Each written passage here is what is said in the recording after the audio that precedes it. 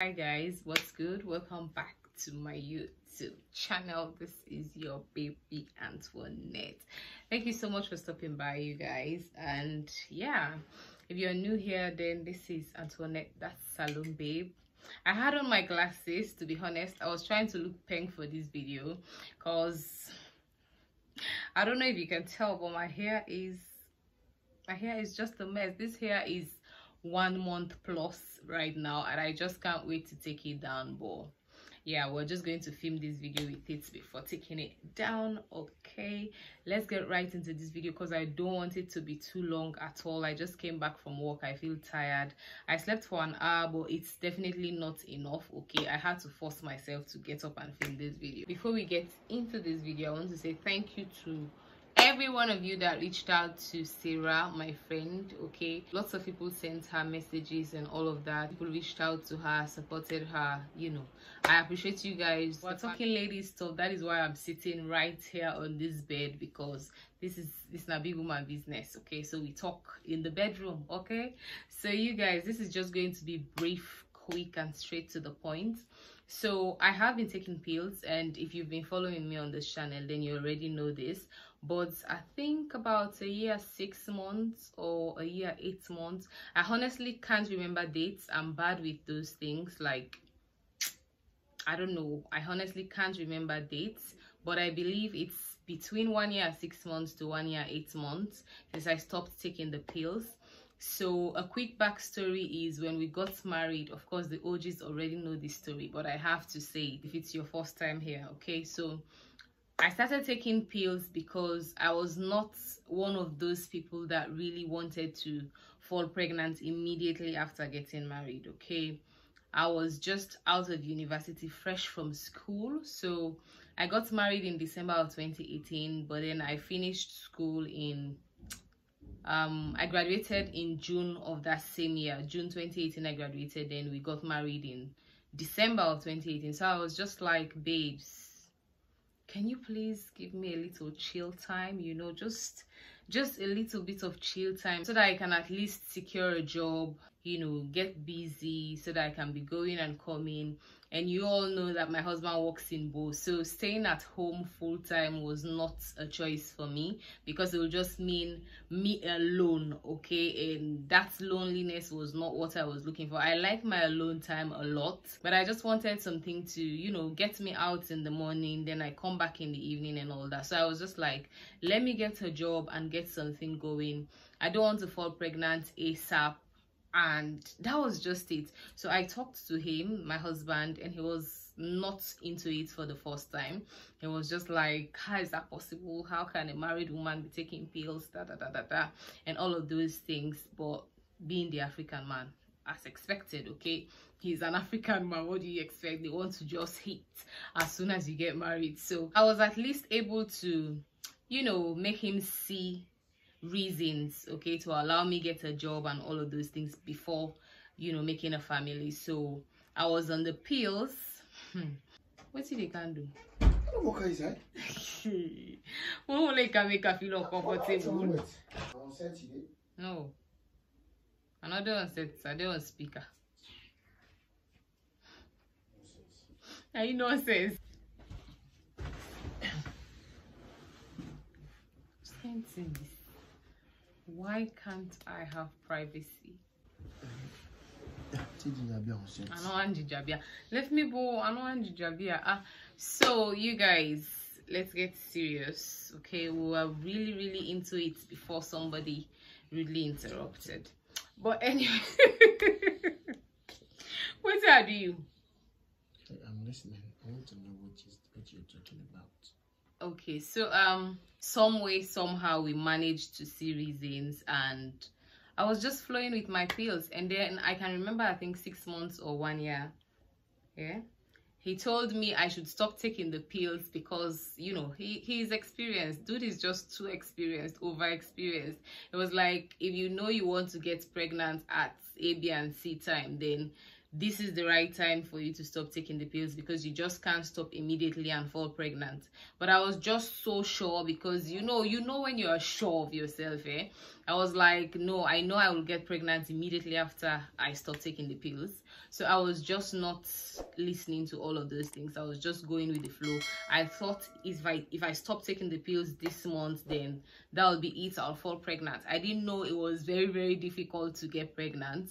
So here I am, one year six months, one year eight months. I can't say exactly because, uh, like I said, I don't remember the date. But I have stopped taking that pill to the point that I have done a few things. Okay, so um doing research i have realized that um some people go to the hospital to check if their tubes are blocked or not. I have done that. I don't know how it is called. I don't know if it is the hcg or hsg baby remember? That's a struggle. Tubalization tubalization?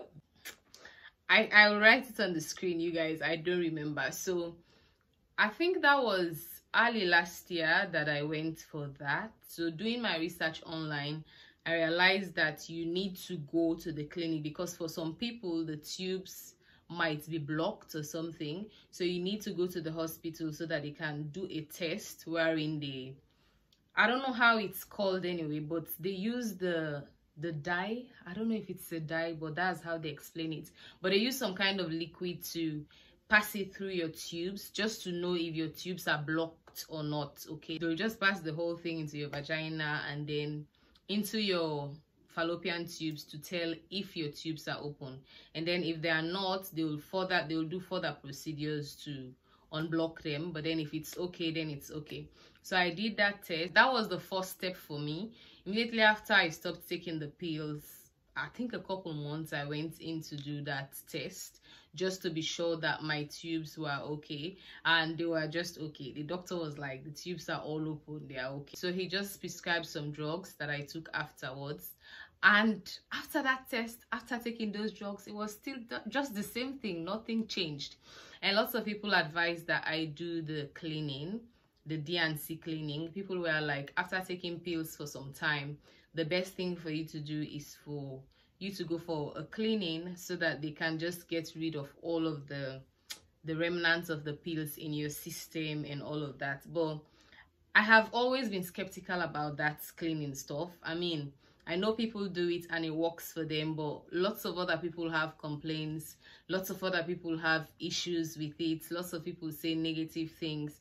People have gone for cleaning and then after that it's like it's just very very difficult for them to conceive so I was just like, hmm, do I really want to go get this done? And aside from the fact that people have negative things to say about the D&C, the fact that I have been watching videos, that's the thing.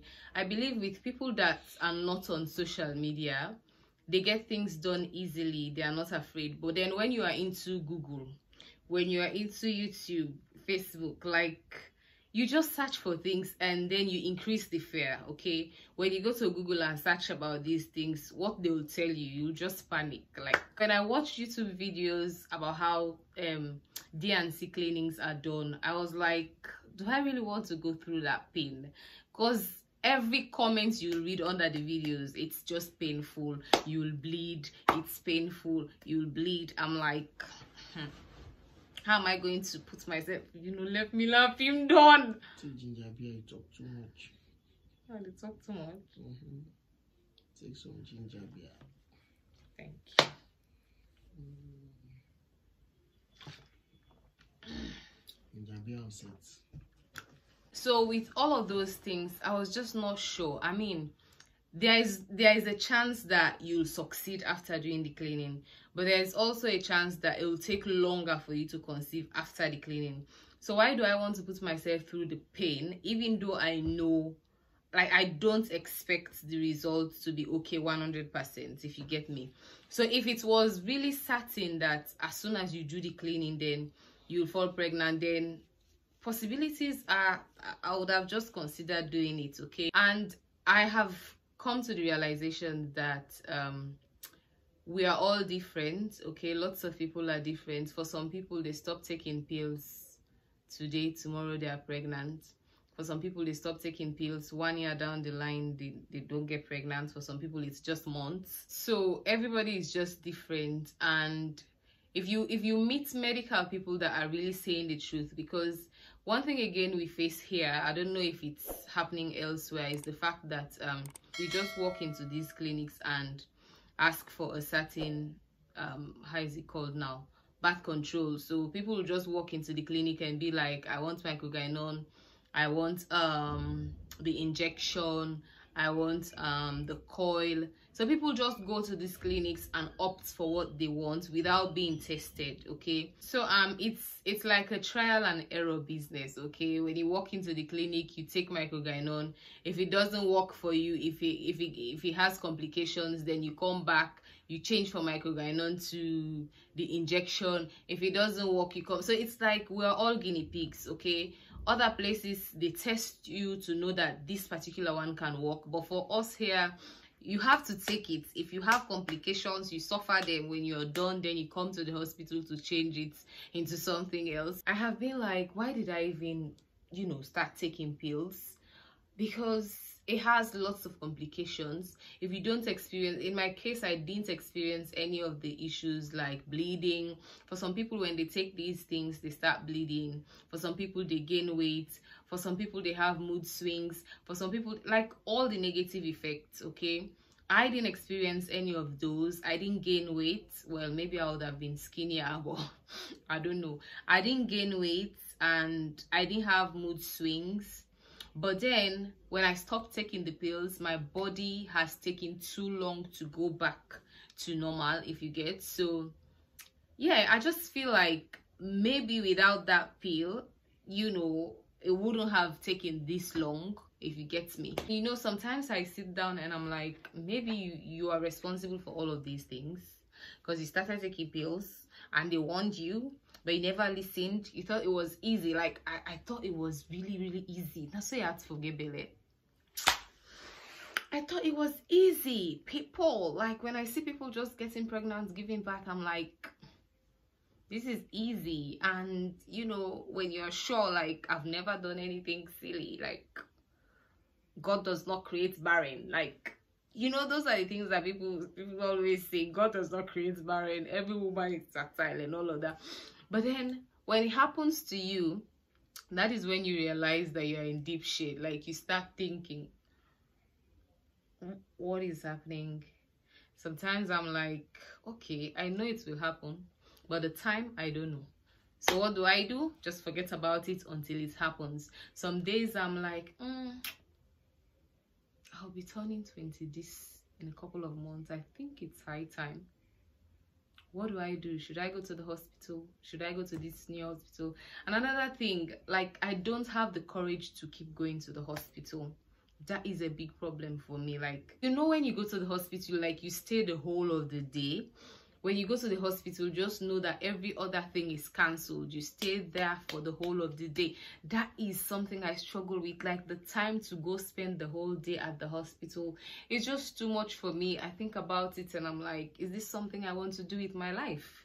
Is this just something i want to do with my life? Why can't i just you know relax and depend on god? I'm very big on depending on god for stuff. That is just who i am. I'm just always like let me just take it easy and know that with time this pill is going to come out of my body. I don't need to go do cleaning because i'm scared of that cleaning that whole D&C thing. Like lots of people have commented that on this channel oh if you've been taking pills then the best thing is to go get yourself cleaned. But in my head i'm like just what if? I've just been like treat treat yourself you know think about the healthy side of life drink more water do all the needful and then do the do very well do it very well very well okay? So if we're ending this video then we're ending on just a few you know a few points that i really want you to take into consideration. If you're considering um birth control of any any sorts just don't just don't take anyone. I don't know but i feel like lots of people here in sierra leone do that. We just walk into the clinics walk into the pharmacies and get what we want.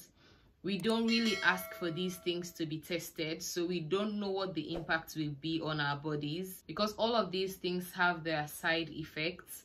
And if you don't have like proper knowledge you'll just get yourself into a big mess. I feel like i didn't have any knowledge not even proper knowledge. I didn't have any knowledge of what i was going into. I just knew this is um, microgynon tablet. It's going to prevent pregnancy for as long as you want as long as you take it daily. So that is just it. I don't know if i've been all over the place with this video. I don't know if i've helped in any way. I don't know if i've made sense in any way. Well that's about it. I'll catch you guys in my next video